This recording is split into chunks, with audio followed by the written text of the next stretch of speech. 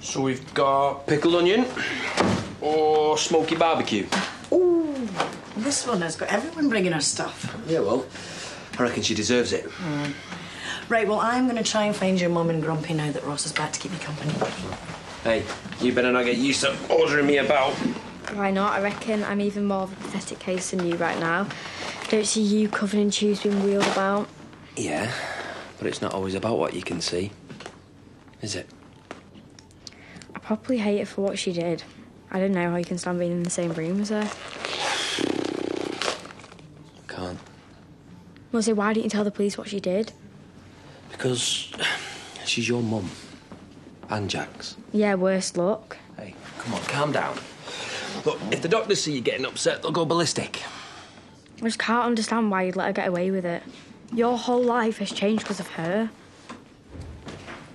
Hey, Mario found you then. Me and your mum just went for a walk to get some air.